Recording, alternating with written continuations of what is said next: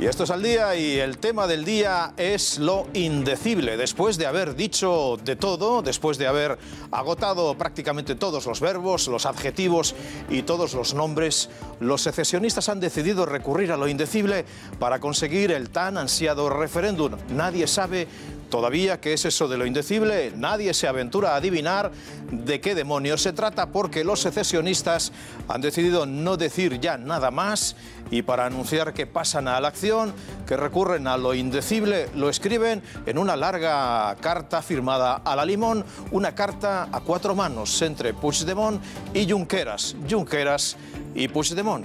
Parece que hubieran descubierto al filósofo Wittgenstein que decía aquello de sobre lo que no podamos hablar, debemos guardar silencio van a hacer lo indecible para hacer algo que la Constitución dice que no se puede hacer. Sí, tiene usted razón. La cosa no tiene lógica ninguna por donde quiera que la cojan, porque por una parte dicen que están eh, en la mesa de diálogo esperando que venga alguien, no a dialogar, sino a obedecer, y por otra parte amenazan con echarse al monte y seguir fabricando inhabilitados para que los inhabilitados por sentencias recientes no se sientan muy dolidos. Por cierto, el gobierno catalán les va a invitar a sus sesiones, que es como si el gobierno de Madrid invitara a los consejos de ministros a Mario Conde o a Laureano Ubiña, un poco por asesorar para que se rehabiliten, para, como se decía antes, para que se reinserten en la sociedad. Es la función social de los gobiernos un gobierno catalán con los indecibles de la secesión y con los inhabilitados por la justicia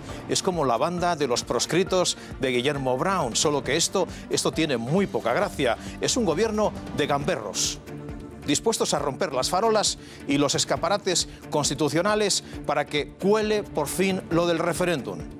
Ahora, para justificar la ruptura, dicen eh, que quieren ser escoceses. Antes ya dijeron que Cataluña era como Kosovo y también como Groenlandia, que son dos territorios de los que habría que explicar muchas cosas, muy pocas buenas. Como no colaba, han encontrado el pretexto de Escocia, que es un territorio que fue nación hasta sumarse al Reino Unido allá por el siglo XVIII. Cataluña, sin embargo, nunca ha sido nación. Escocia tuvo referéndum porque no hay constitución británica que diga lo contrario y lo tuvo después de pedir permiso al Parlamento del Reino Unido. Los de la carta de esta mañana podían hacer lo mismo, pedirle el referéndum al Parlamento Nacional y esperar a ver qué responden.